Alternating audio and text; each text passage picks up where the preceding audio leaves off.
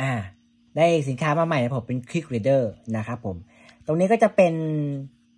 ตัวเพิ่ม Memory Card ได้ด้วยนะครับผม ประมาณนี้แล้วก็รองรับ iOS นะครับผมแล้วก็ Android อ่า15 Pro Max รองรับนะครับผมเชื่อมต่อได้นะครับผมทีนี้เราก็เอากล้องตัวเล็กใส่ลงไปในนี้ อันนี้ก็คือเป็นรีโมทแต่ผมเรียกว่ายานแม่นี่ยานยานลูก เราจะต้องทำการเปิดเครื่องก่อนนะผม เมื่อเราเปิดเครื่อง พอเราเปิดเครื่องมานะครับผมให้เราตรงนี้เป็นปุ่มกด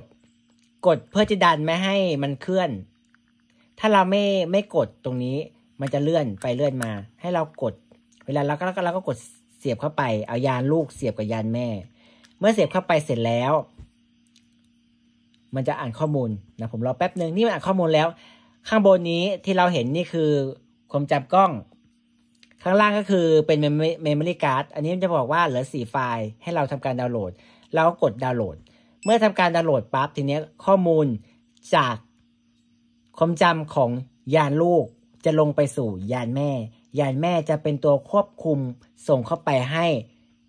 เมมโมรี่การ์ดอีกทีหนึ่งซ้อนกันประมาณนี้ ก็เสร็จสิ้นแล้วก็คือวิธีการง่าย ๆ เสร็จแล้วพอโหลดเรียบร้อยแล้ว เราก็ไปทำการเสียบเข้ากับ iPad iPod แล้วก็ตัดต่อได้เลย ครับ ผมก็หวังว่าคลิปนี้จะเป็นประโยชน์ให้นะครับ เสริมให้อีกนิดครับผม เมื่อเราทำการดาวน์โหลดไปแล้ว สมมติว่าแบตเตอรี่มันหมด สมมติว่ามันมีไฟล์อยู่ 25 ไฟล์ เราโหลดได้แค่ 20 ไฟล์ แล้วเหลือ 5 ไฟล์ เครื่องดับหรือว่ามันดาวน์โหลดต่อไปไม่ได้ ไม่เป็นไรครับผมให้เราทำการชาร์จแบต เสร็จแล้วเรามาทำการเหมือนเดิม โหลดไฟล์เหมือนเดิม